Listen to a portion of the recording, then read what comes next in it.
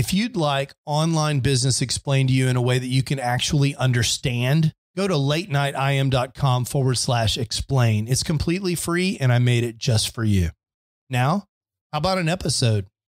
Episode 213 Late night internet marketing. This week on the Late Night Internet Marketing Podcast, we talk all about that shiny object syndrome and the way it makes you feel and what you can do about it.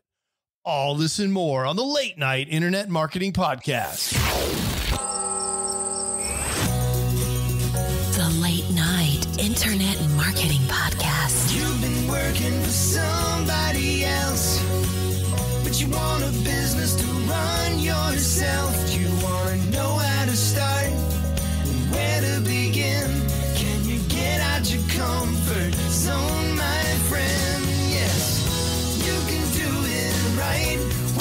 Late at night. At the end of the day, your dreams burning inside. So keep it up and you will find that you're building your business one night at a time. And now, broadcasting late at night from a little studio in the big state of Texas, your host, your host Mark Mason. Hey, hey, hey, how is everyone doing? Holy cow, it has been snowing at the little studio in Dallas, Texas. How are you? I hope you are warm and safe. I have been relatively safe over the last week, but not all that warm. In case you haven't been watching the news, it's been snow Mageddon here in Texas. And for all of you that are in, you know, different parts of the country and the world where it snows all the time, I know you're laughing at me. I saw a really funny meme on TikTok this week where there were places in the world where it snowed and they had snow plows uh, clearing the streets, you know, these armies of snow plows.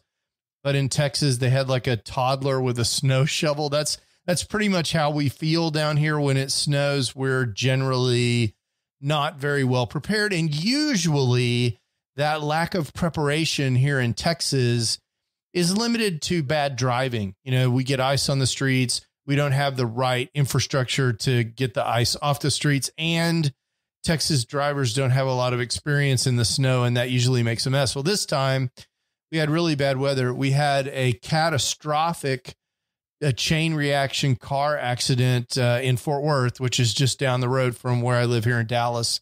And people died. And I mean, it's just terrible. And then the cold weather collapsed the power grid in Texas. And so many of us, including those of us living here at the little studio in Dallas, were without power for days. So it turns out it's relatively difficult to record, edit, and publish a podcast without electricity. it turns out that podcasting requires electricity. So we've worked around that a little bit. The power's back up. And my biggest struggle during this time was to keep the swimming pool running, to keep the pool pumps from freezing in the presence of power outages, because normally you would keep the pool pumps from freezing by running them. And when you don't have electricity, it's also really hard to run pool pumps. And so we had all of that kind of problem. And in the meantime, I have been working on my drop shipping activities here. I'm going to have an update for you on that next week, probably uh, if all things go the way I'm expecting, maybe even first sales to report for you next week and to tell you what that's looking like. I'm still very bullish on this uh, process. And I've got some alternatives for you that I'm also going to discuss next week.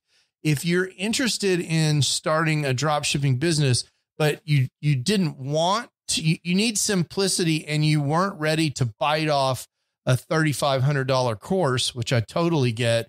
I've got a much, much more affordable option for you that I'm evaluating now that I'm going to talk to you about next week that I think you'll be very interested in.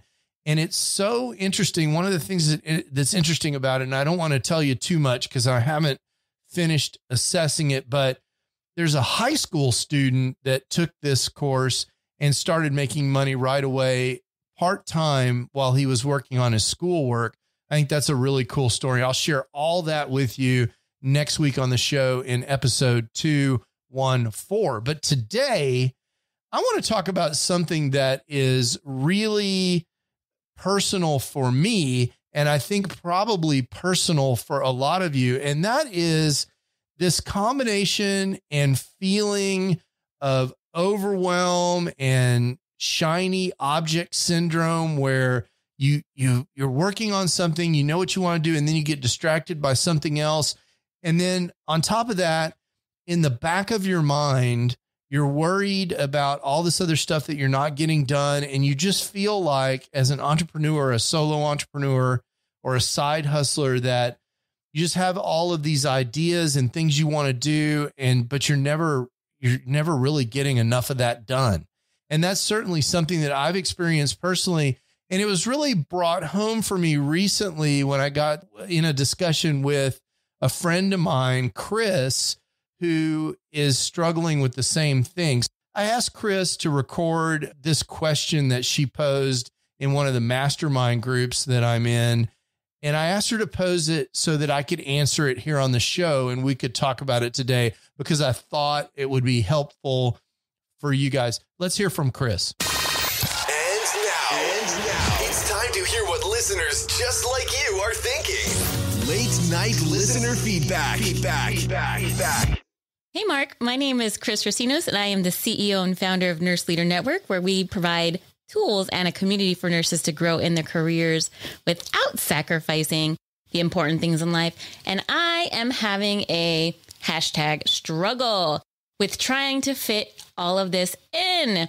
Um, so, my question is you know, I work with a group of folks that are helping me to stay on track with my accountabilities and I can't stay on top of my to-do list. I frequently am missing out on my commitments in favor of the next shiny object. I'm in the middle right now of launching a few memberships. I'm writing a book. I'm hosting a conference and that's on top of everything else that, you know, I do in terms of my podcast and my day to day with work.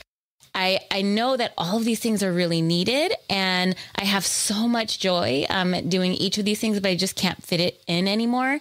Um, I'm really looking at figuring out how to do better with time management. We are in the process of hiring a VA that's going to help with some of my podcast editing and scheduling, but it's still not going to give us enough time for me to fit it all in. And so, Mark, please help me with how do I stop with the next shiny object syndrome? How do I complete my task? Because I'm good at getting them started, I'm good at having a vision, and I can't get them to the finish line. I'd appreciate any help you have. Thanks. Bye. Okay, so I don't know if you're totally like me, but boy, this question from Chris really resonates, right? I mean, here she is. She's incredibly successful. And I guess maybe that's the first thing to talk about here. Chris is working on a bunch of really successful projects in addition to having a really successful career prior to this. She's been an executive in large healthcare companies. She's on uh, the teaching staff and faculty of various universities. She's a nurse educator. She has more letters after her name than you can possibly imagine. The end of her name on her business card is like an alphabet soup of certifications. Okay, so this is a very successful person. And so the lesson here, just right out of the gate, is even incredibly successful people who seemingly have it all together the people that you admire, that you're looking up to and saying, wow, that person doesn't have any of my problems. They've got it all together. Those people, they have these issues too. So that's the first thing that I, I took away from, from Chris is wow. I mean, everybody goes through this. And so Chris says some things in her, in her statement that are super interesting. And I thought we could break those down into a couple of categories. But first, let me offer you an idea. And the idea is that every one of us, we all have the same 24 hours in a day. You and me and Chris, we all have the same amount of time. And so the question is how are we going to decide to use it?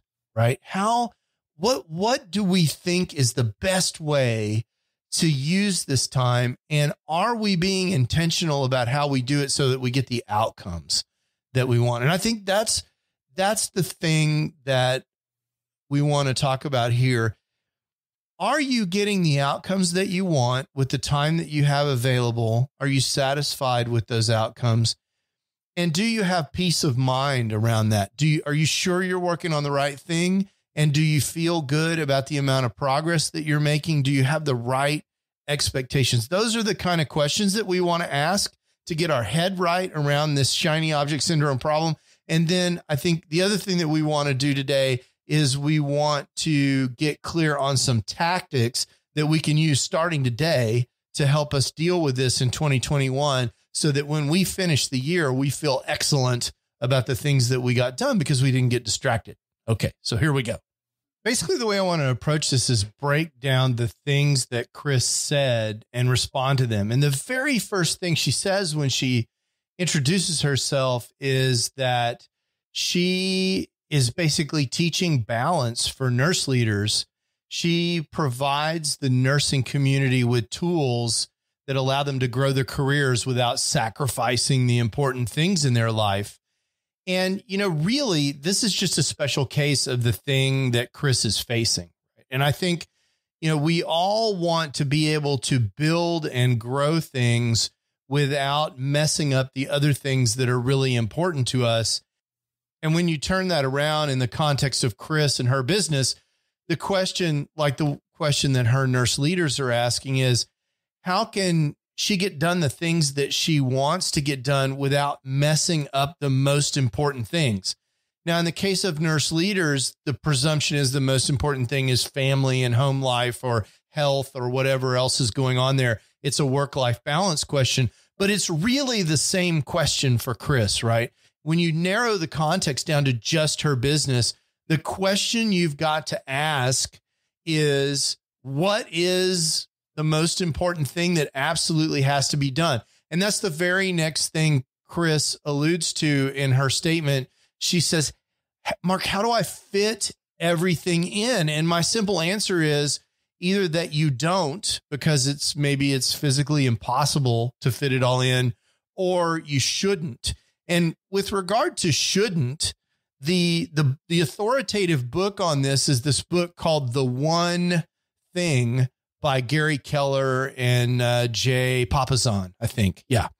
And, you know, there are a lot of really great insights into that book. There, the book is very marketable because it's got a nice poppy title, but it's a deep book. And there's some really great takeaways in that book. And all of you that are struggling with these kind of problems of around multitasking and shiny objects and not getting things done, I encourage you to read this book and you will find that Gary and Jay will tell you that extraordinary results are related to how narrowly you can focus.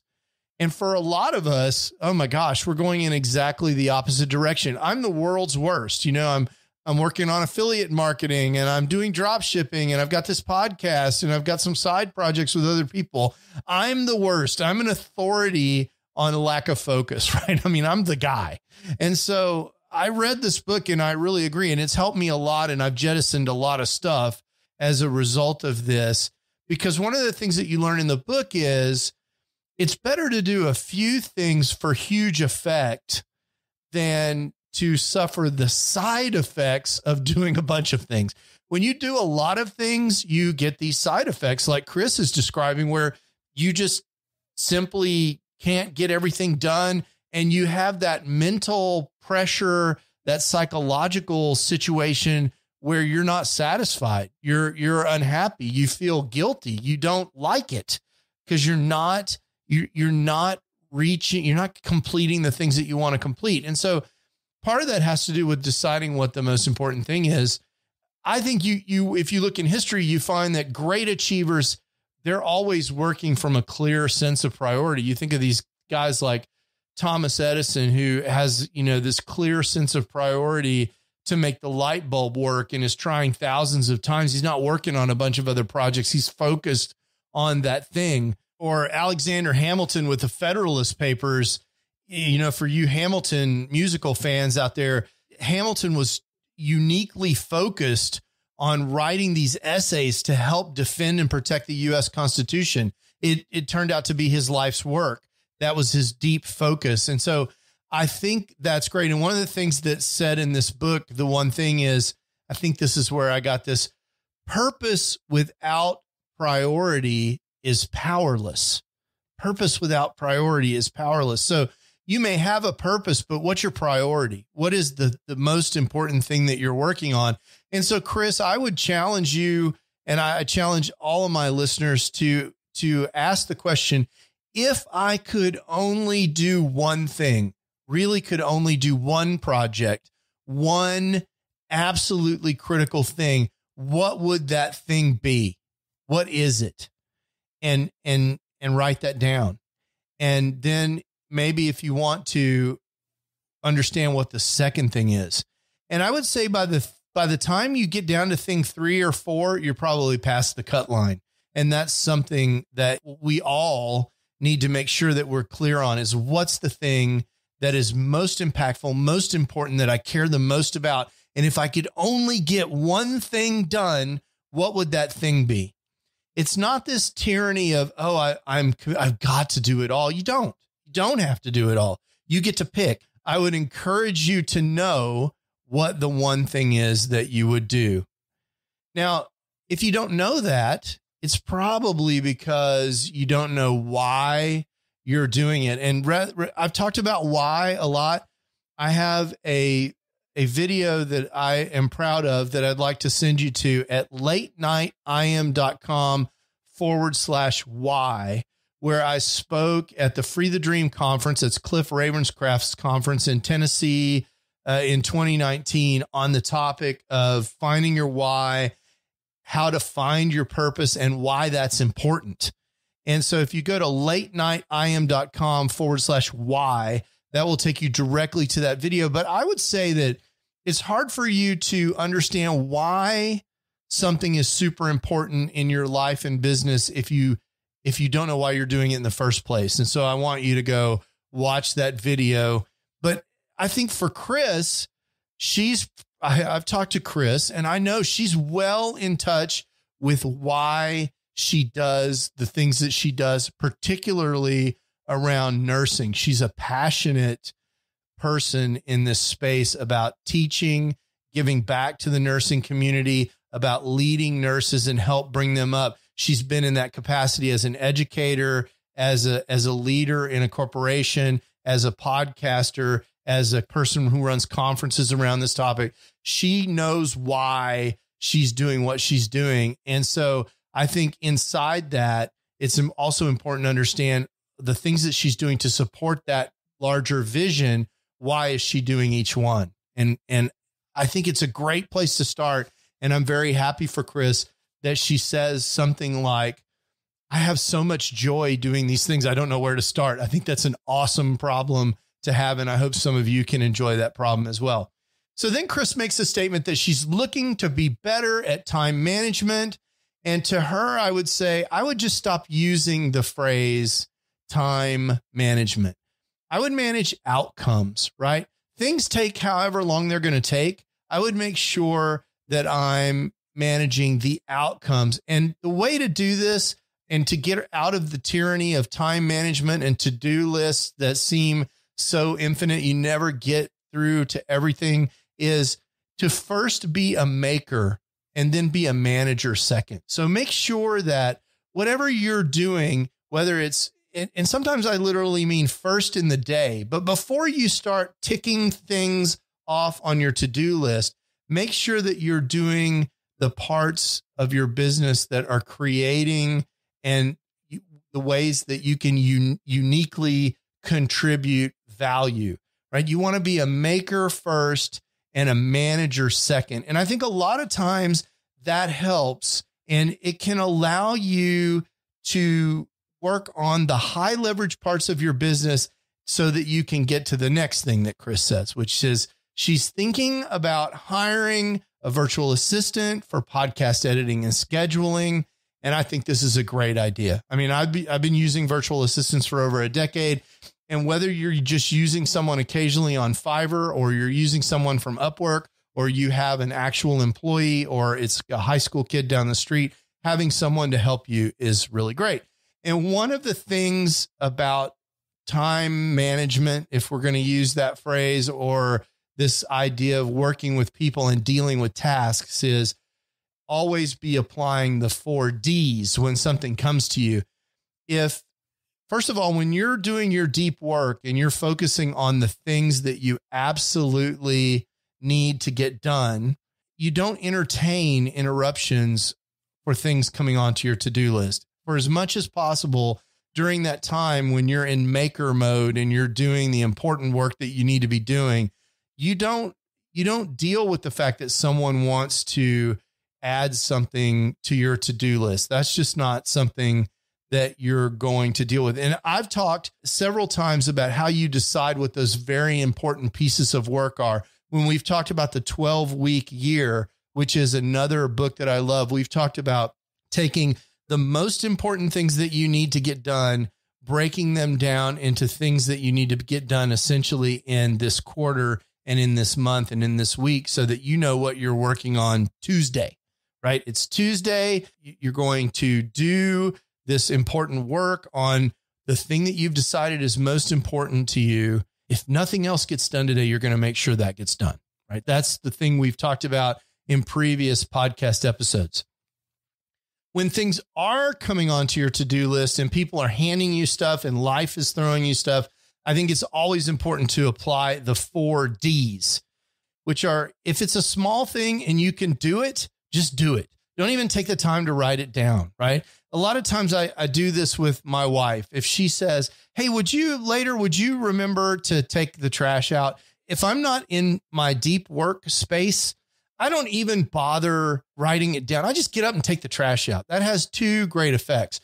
One is it's done, it's accomplished. And two is I don't have to take any time to write it down.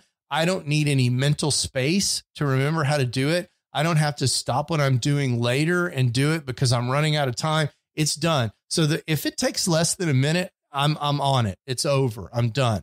And then it's done. So the first D is do. The second thing is to delete it one of the things that we don't do is we don't say no enough. Michael Hyatt talks about saying no, and I think and how powerful that is. And he talks about uh, making a yes, no, yes sandwich where someone asks if you will do something. Hey, Mark, will you promote my product or will you come, uh, you know, interview me on my show or whatever? Right. And you say, man, thank you so much for thinking about me. Unfortunately, I'm not going to be able to do that, but I really wish you well in that endeavor. I think you're doing great work. Good luck. Uh, yes, no, yes, right? You know, tell them, thank them for the ask. Tell them you're flattered they thought of you. Be completely unequivocal when you say no. Some of you don't know how to do that. Some of you will say, uh, I really, I'm really busy right now. Excuse code, excuse code, excuse code. And maybe check back with me in three weeks and maybe we can do it. And you say that because you don't want to say no. Just say no. You you don't you don't owe anyone an explanation. You don't have to say you don't have to tell people why you're saying no. I have to explain this to my mom all the time. It's like, "Mom, just say no." You don't you don't need to tell everybody why you're saying no. You just say no. Say, "Hey, thank you very much. I won't I'm not going to do that.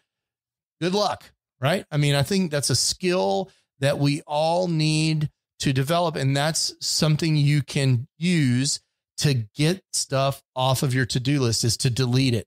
And then a third tactic that we can use for stuff that is just not important and there are no consequences if we don't do it. And who cares? It's just to defer it, right? Say, uh, I'm not going to do that right now. And that's fine.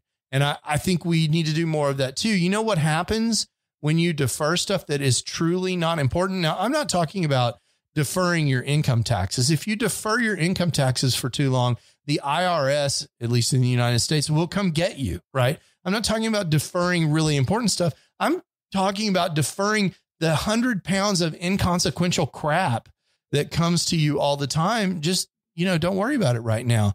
And especially low energy tasks that don't require a lot of your mental capacity, like opening up your, your physical mail, 75% of which is offers to extend your home or car warranty. You, you don't need to do that right now. Defer it. Don't, don't let yourself be distracted by this inconsequential stuff right now because you want to be busy doing the work that's going to allow you to achieve your goals. And then finally, I would say, and this gets to Chris, delegate it.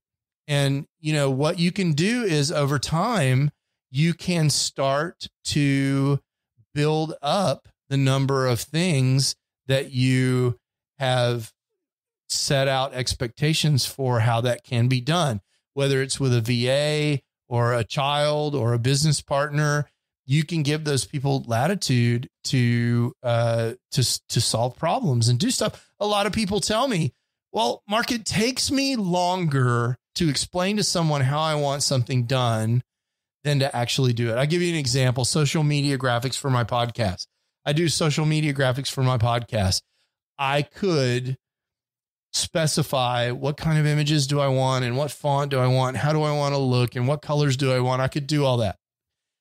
Instead, I just say, make me a graphic that I can use on Facebook. And you know what happens when you allow people to, to be creative and take responsibility for things? You find out that a lot of people are better than you at a lot of stuff.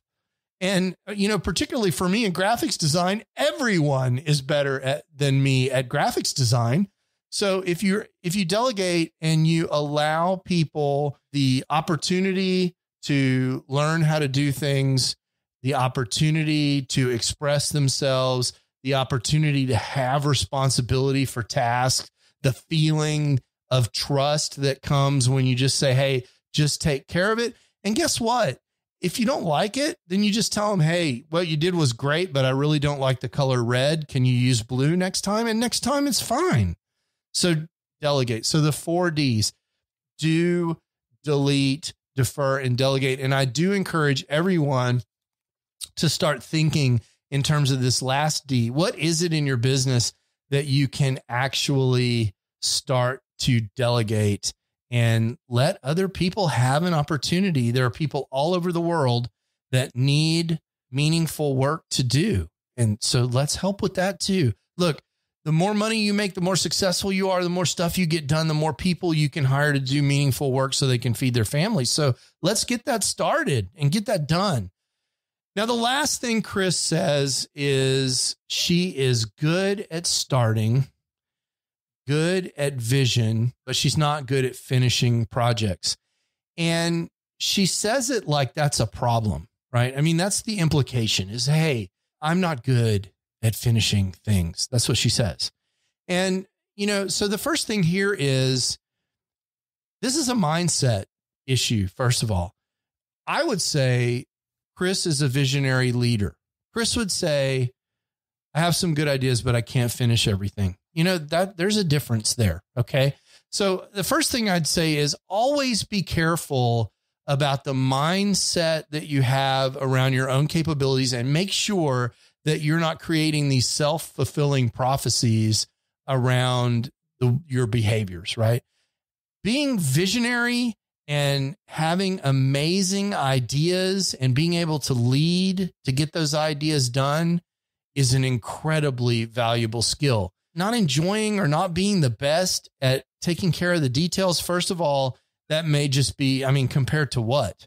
I mean, I guarantee you, I mean, you have a PhD in nursing, you can take care of details, right? You can't get a PhD if you can't execute and take care of details. So I reject the statement from Chris and from most of you, right? Most of you have accomplished things that require attention to detail and completion, right? We all have. And so you can, you can do it, but that may not be your amazing strength. And in those cases, I think most of the really successful people that I know that are amazingly successful, like Amy Porterfield, Pat Flynn, people like this in these spaces. My buddy Michael Stelzner, they have operation managers that are managing execution. And you just think about it. And Chris, you know, she's been a C suite leader in large medical corporations. You don't have one person who's doing all these pieces, right? You have visionary leadership in the C suite, and you have some accounting types in the C suite that are counting beans, and you usually have an operations manager, and usually, especially in Chris's world, someone who's responsible for compliance, and Chris herself responsible for the most valuable resource in the hospital, which is nursing, right? So I think it's okay. And I think in addition to a VA, what you can start to imagine is getting some time from someone who can help you manage the execution of projects as you build a team. Now, it's hard to swallow, right? Because you you don't have a team. You're the execution person right now. And I think it's a it's a little bit of a vicious cycle that you can reverse by starting to delegate more and more. I mean, for your next podcast, let's get that thing edited by somebody else. And if you, your next YouTube video, let's have that thumbnail made by somebody else. Let's let somebody else post the video to YouTube. There's no reason for you to sit there and watch the little circle go around while the video uh, uploads to YouTube. You can do higher leverage things in your business. So, what does this all boil down to? I think it boils down to a couple of things. One is know what the one or two most critical things are that you're doing and make sure you get them done and know why that you're doing them. I think that's really critical. And try to push off the tyranny of all the extra stuff that's coming up that's getting in the way of that by doing your most important stuff first, putting the big rocks in first, as Covey would say, and then applying these four D's of do, delegate, defer, and delete, and making sure that that's getting done that way. Get as much help as you can afford to get as soon as you can afford to get it. So that's really critical. And then I guess the last thing I would say and what I would leave you with is be okay with the fact that these most important things are enough. Be okay with the fact that you have 75 ideas, but right now you're only executing on three of them, but you're executing on the most important three. I think that's absolutely wonderful. I mean, how many people can really say that, that they're working on the one or two or three most important things in their life. I mean, I think that's amazing. And you say, well, people tell me, but I, but I have all these ideas. Great. Let's put a place for those. Let's create a list in Asana or in a notepad somewhere in ClickUp for me called a, a someday list. And just let's make all of those things. So I have, I have so many things on that list for someday. And most of them, quite frankly, I'm never going to get to, but they're not taking up my mental energy because they're on that list. And if I'm ever bored and looking for something to do, or I need a creative, some creative input, I can go back and look at the, that list, that someday list. But for right now, I kind of have a contract with myself that if it's on the someday list, it doesn't get worked on right now. And if I get a new idea, I consider saying, you know, making my yes, no, yes sandwich on that. I give that very careful consideration. I tell you another thing that you can do in this regard, because I know this feeling, right? You, you hear about this new thing, you get a sales letter, you, you've got this, you know, new piece of software that just came out that you want to try, whatever it is. There's, there's two things that I can suggest. One is never buy anything until Friday. and I, I've said this before on the podcast, but you know, most of your distractions that you come up with, especially in the internet marketing space, involve investing in a new opportunity or a new piece of software or a new solution or a new next shiny object thing. And my suggestion to you is just don't don't do that until Friday. Put it on a list of things to think about on Friday. And most of the time by by the time Friday comes around, that impulse to do that thing will have dissipated enough for you to make a good decision about whether or not you need to do it. Sometimes you will have totally forgotten about it. Um, the second thing I would say is avoid the temptation to think 47 steps ahead in the project that you're doing when uh, you really just need to focus on what you need to do now. So, for example, if you're working on a course, there's no reason for you to go off and take a course on Facebook ads. You have nothing to sell. So, you can take the Facebook ads course when you have a course to sell. And I, you know, people, oh, Mark, I, I need to get ready for that. No, you don't. What you need is a course. You need a finished course. So finish your course or your product or your project or whatever. And then when you get to the marketing, well, let's worry about the marketing when we get to the marketing. And that's something that I like to refer to as just in time learning. That's another thing that you can do to kind of help manage this shiny object syndrome is to turn off the input on stuff that is not part of what you're doing right now.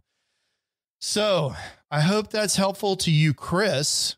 But even more than that, because, you know, I would have been happy to have a personal conversation with my friend Chris. I hope this is helpful to all of you listening to the podcast.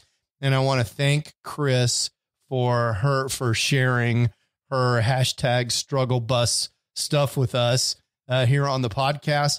And I know there are a lot of nurses that listen to this show. My my oldest daughter listens to the show, and she's a nurse. Although she tells me uh, that she prefers true true crime podcasts over my internet marketing podcast, which is a little hurtful. But uh, yeah, I get it. But my oldest daughter is a nurse. But if uh, you know, if you are a nurse or you know a nurse, tell them about Chris over at nurseleadernetwork.com. She would love to see you there. She's got a lot of great things to offer for her tribe. Um, and she's an amazing person. So thanks, Chris. Thanks, all of y'all. And we'll talk to you next week where I'm going to update you on all my progress on evaluating what's going on in the drop shipping world today. Ciao.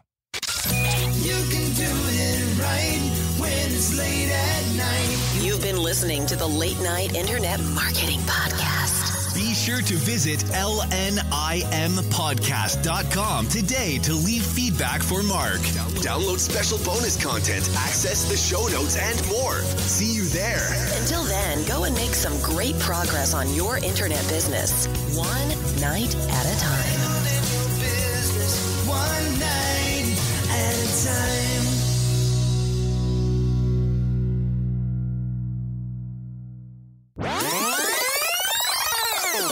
Holy cow. Okay. Snowmageddon. My gosh. That's the thing. So we got five or six inches of snow. And yes, I know that's not a big deal, but the, the big thing was having temperatures near zero with no power. So I, you know, it's a little studio in Dallas. Dallas doesn't see zero hardly ever. I mean, these are record low temperatures and not having any power. That's a seriously compromising situation, you know, particularly both in terms of safety for people who maybe don't have the resources or maybe they're elderly, they don't have the physical capability to take care of themselves in difficult weather conditions. That's very scary. It's also uh, difficult from a from a personal property standpoint because things like pool pumps they freeze up without electricity and water lines in your house. I mean, normally your water lines might not freeze because inside the house it's 70 something degrees. But if you have no how no heat inside the house that's going into those walls, those pipes can freeze pretty readily. And I spent a lot of time going from neighbor's house to neighbor's house, helping them turn off their water if their pipes were freezing and water was going all over the inside of their house because their pipes had broken. Several times we had people reaching out on Facebook looking for help because they didn't know how to turn their water off or they didn't have the right tools to turn their water off. So if you're, you know, if you live in a home, I'm an engineer, so I have tools stacked to the ceiling. But if you're in a home and you don't know how to turn the water off, that's a bad thing because water moves quickly and you can get a lot of it in a very short period of time. If you have a, you know, three quarter inch water line break in your home, that's going to pump out a lot of water at 40 pounds per square inch or whatever the water's coming in at. That's a lot of water in your house very quickly. So, my advice to you for today if you don't know how to turn off the water in your house, make sure you get that solved this week because not turning off the water when your house is flooding, that's a bummer deal. you know, it's really interesting. And as an engineer, I understand this that, you know, there are a lot of complexities in politics and finger pointing in this power problem that we had here in Texas.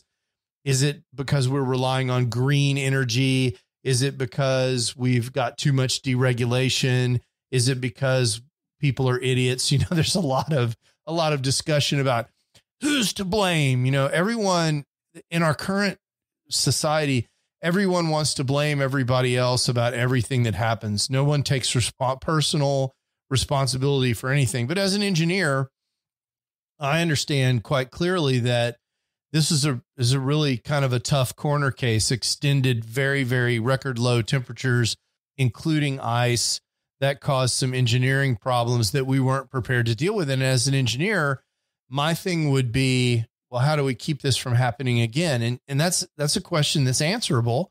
You can keep things from happening again. In engineering we call those corrective actions that we take to keep problems from happening but then you have to answer the next question is are you willing to pay for this? And one of my one of the things that amuses me is that the same people that are on facebook that are ranting and raving about uh, the effects of deregulation and how that made our power grid vulnerable are the exact same people that have these competitive electrical contracts don't want monopolies because they don't want high prices they're they don't even understand that they caused the problem so it's all very interesting so that's what's going on here in texas Late night internet marketing.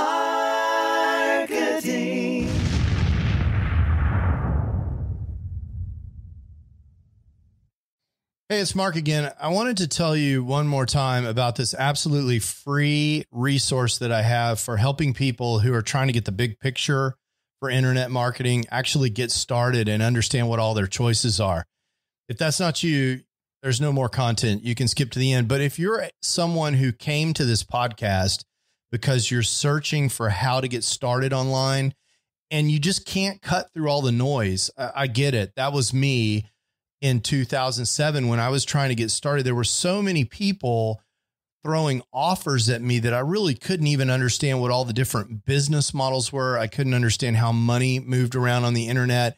And I couldn't really get a grip on what direction I wanted to go in so I could figure out how to move forward. I've created a free video resource for you just for that purpose at late nightim.com forward slash explain in several short videos, I just explained to you what internet marketing is all about and what online business is all about and the different options that you have for starting an online business. There's nothing to buy there. You just sign up for access and you get the videos just like that.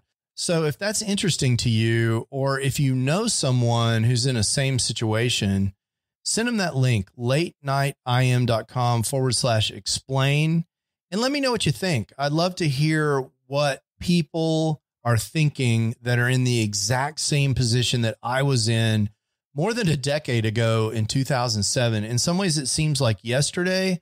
And in some ways, it seems like an entire lifetime ago. Again, that's late nightim.com forward slash explain. Late night internet marketing.